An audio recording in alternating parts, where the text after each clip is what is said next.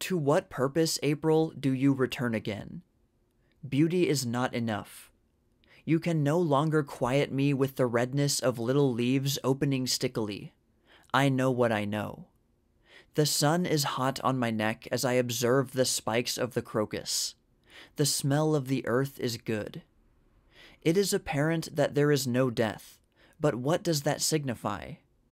Not only underground are the brains of men eaten by maggots.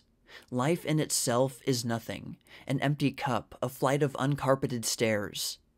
It is not enough that yearly, down this hill, April comes like an idiot, babbling and strewing flowers.